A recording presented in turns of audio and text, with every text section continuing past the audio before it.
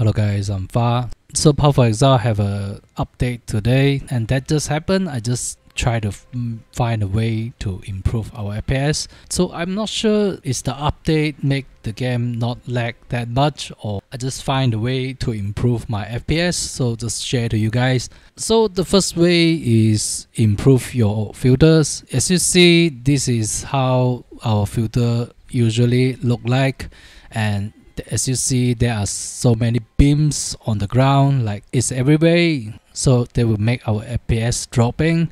So how we gonna do that? We just download like normal but before that we're going to style global style edits and remove all beams active. So after active we're going to download our filter like normal. If you have your filter you can just load your filter so you just log in and load your filter right here and you just do the same thing. You go into style and global style edits.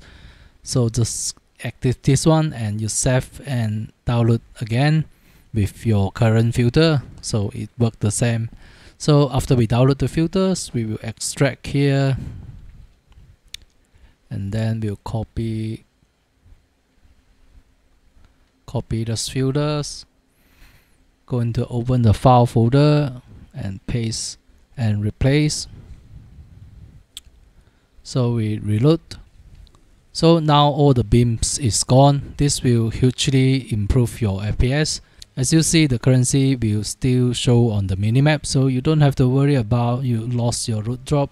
Just watch the minimap and just look like this. Yeah it's very good. It's helped me a lot and the second way to improve your FPS is change the networking mode to predictive.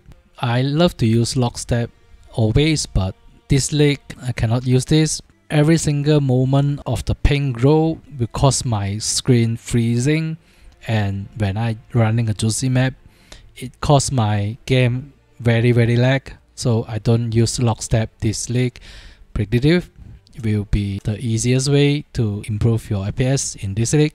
And then I also do some change on my sound setting, channel count from high to low, and reverb enable untake. Um, I'm not sure this sound setting will help you or not. Just tell you what I done. It may be help, maybe not. So you can try it if you want. And then we will going to quickly talk about this page. If the filter is not help, the sound setting is not help, the predictive still not help, you might take care of your graphic setting. So in my experience, everyone different, right? It's hard to say full screen is good to you. My best setting is window full screen.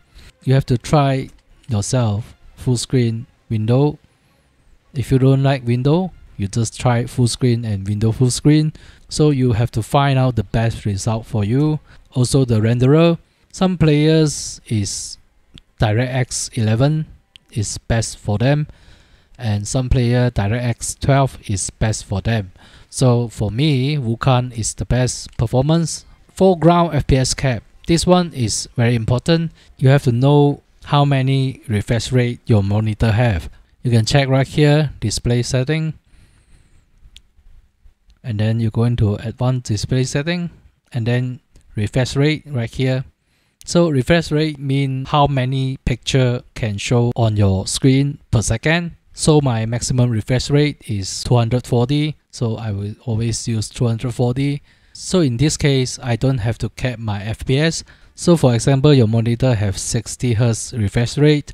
So in this setting you have to cap it. You don't want your game run over 60 FPS 60 above FPS in game is wasted because your monitor or your screen only can show 60 pictures in 1 second. For another example, your screen have 120 refresh rate, so you're gonna set this 120. So you're not gonna waste any FPS in your game, so the game will cap your FPS right here so it not overrun the game and you will have better performance. So for the detail setting, everything set the lowest, like low, low, low.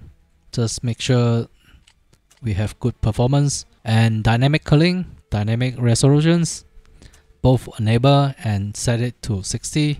So make sure you don't disable this one. You have to always enable this one. If you disable this one like your cpu have 16 core or 8 core if you disable it will only using one core. So your game will lag like shit.